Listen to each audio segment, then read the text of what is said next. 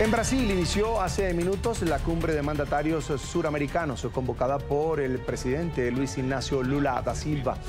El encuentro tiene como objetivo, según el gobierno brasileño, reactivar la integración de una región con notables quiebres ideológicos y crisis internas con excepción de la presidenta de Perú, Dina Boluarte, quien ha sido duramente atacada por los actuales mandatarios de izquierda de la región y quien estará representada por el primer ministro Alberto Otálora.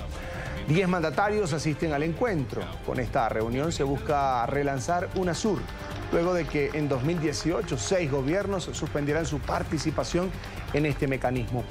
La cita ya genera polémicas tras el recibimiento que hizo Lula da Silva al líder del régimen venezolano Nicolás Maduro.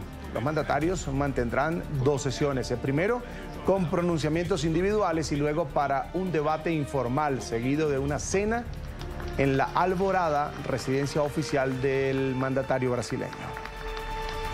Saludo con gran alegría a mis amigos los presidentes sudamericanos. Les agradezco mucho el esfuerzo que han hecho para estar aquí. Lo que nos reúne hoy es el sentimiento de urgencia con nuestra región. En Brasil, la integración fue el resultado de la redemocratización. Necesitamos una Sudamérica fuerte, segura de sí misma y políticamente organizada. Esta aumenta las posibilidades de afirmar una verdadera identidad latinoamericana y caribeña a escala internacional. Entre las muchas cosas que he aprendido en política es que el mandato presidencial es mucho más corto de lo que parece.